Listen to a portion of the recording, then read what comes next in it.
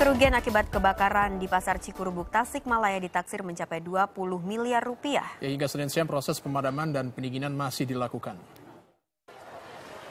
Rabu pagi asap pekat masih membumbung tinggi di lokasi kebakaran pasar tradisional Cikurubuk Tasikmalaya.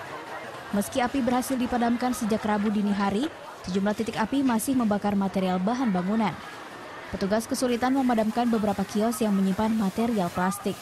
Jadi ada pintu, nah pintu ini yang di, bisa dimanfaatkan untuk menembak titik api yang di dalam. Api masih besar di dalam, Pak? Api masih besar dari ujung sana sampai ujung sini. Hingga Rabu siang, para pedagang masih mengais sisa-sisa barang yang masih bisa digunakan. Lagi meresin, ya kali ada yang sisa gitu. Ada. Nggak ada. Belum diketahui penyebab kebakaran. Kepolisian Tasikmalaya masih melakukan penyelidikan, namun diduga karena hubungan arus pendek dari tiang listrik kios. Uh, salah satu pedagang yang pada saat kebetulan beliau masih berada di lokasi, beliau menyampaikan bahwa asal api itu memang dari salah satu tiang listrik yang ada di tengah. Kemudian api itu menjalar ya ke kanan dan ke kiri.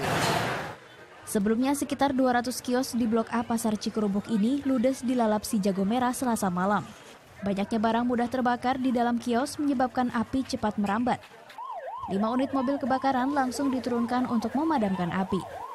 Petugas sempat kesulitan memadamkan api karena banyaknya kerumunan warga di dekat lokasi kejadian. Kerugian materi akibat peristiwa kebakaran ini diperkirakan mencapai 20 miliar rupiah. Budi Pardiana melaporkan untuk